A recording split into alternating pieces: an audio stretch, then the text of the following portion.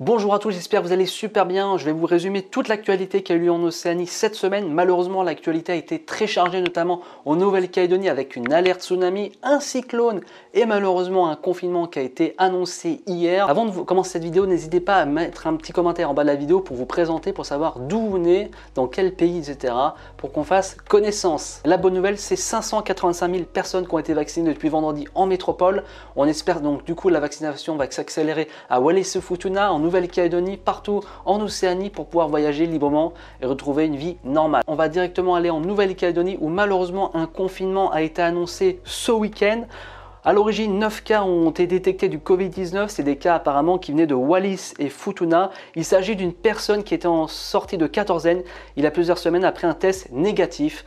Cette personne a consulté un médecin en raison d'un symptôme qui a été testé positif. Terry Santa a demandé à toutes les personnes qui sont venues à Wallis-Futuna depuis le 25 janvier de s'isoler. Donc voilà, si vous êtes dans ces cas, n'hésitez pas donc à vous isoler. La conséquence de tout ça, c'est un confinement pour deux semaines à partir du lundi 18h. Donc voilà, donc ça commence aujourd'hui à partir de 18h. Fermeture des magasins non essentiels, on va en savoir plus dans les prochaines heures, mais a priori les magasins non essentiels seront fermés. Le masque sera obligatoire dans les villes et dans les lieux clos. Suspension des bus, euh, le rail, euh, tout ce qui est avion, bus, euh, tout déplacement. Tout ce qui est déplacement, vous pourrez bien sûr sortir, il n'y a aucun souci, mais par contre, il faudra une attestation à télécharger sur site gouvernement professionnel ou à titre personnel, il faudra justifier tout déplacement. Et enfin, les écoles seront en théorie fermées. En conséquence, le gouvernement de la Nouvelle-Calédonie a décidé de suspendre les prochains vols avec passagers en provenance de Wallis et Futuna, notamment les vols du dimanche 7 et 8 mars. Aucune liaison n'est possible entre les deux archipels pour le moment. C'est malheureusement une mauvaise nouvelle, mais si on prend l'exemple de la Nouvelle-Zélande, dès qu'il y a un cas, on ferme tout et ça se passe super bien. Donc on espère qu'en Calédonie, tout va revenir normalement. Cette semaine, le cyclone Iran a directement touché la Nouvelle-Calédonie pendant plusieurs heures, des, vents allant jusqu'à 220 km/h.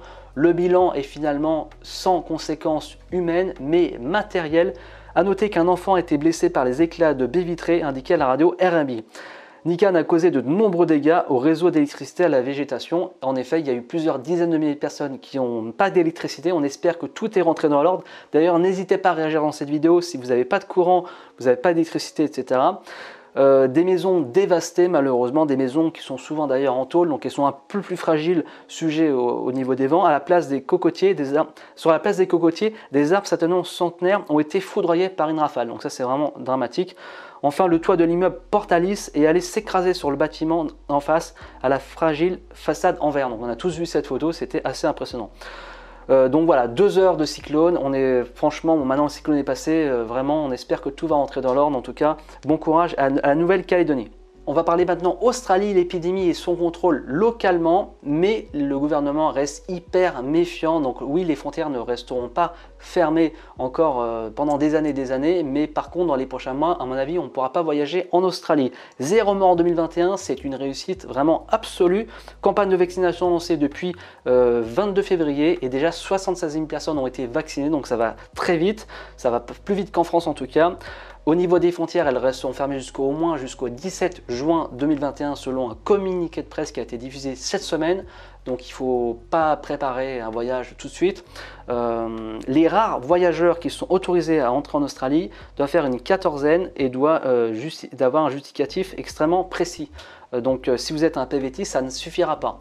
Il y a juste les Australiens ou des gens qui ont de la famille en Australie. Vous voyez, c'est quand même très compliqué. Donc pour l'instant, si vous êtes étudiant, working et des visas, si vous regardez cette vidéo, il faut bien sûr rester patient. Pour l'instant, on ne peut pas voyager en Australie. La compagnie australienne et sa filiale Low Cost A repoussé à octobre 2021, ou plutôt à la reprise des vols internationaux. Donc vous voyez, concrètement, ça se précise. Selon mon analyse, je pense que pour 2021, ça s'annonce très compliqué. On espère potentiellement septembre 2021, je l'ai annoncé sur mon Instagram, avec un vaccin obligatoire, passeport vaccinal, un test PCR à l'aller et au retour, 7 jours de quarantaine, une assurance obligatoire. Ça, c'est moi qui le dis. Ce n'est pas une information officielle, mais je pense que c'est ce qui va se profiler pour l'Australie et pour la Nouvelle-Zélande. Donc on espère septembre-octobre. D'ici là, il faut espérer la vaccination s'accélère en France pour pouvoir voyager en Océanie. Mais en attendant, on va devoir patienter. On va parler maintenant de la Nouvelle-Zélande. La Nouvelle-Zélande a levé vendredi le confinement de la plus grande ville du pays, Auckland. Et oui, Auckland était confiné, les autorités estimant que le foyer de contamination du Covid a été contenu.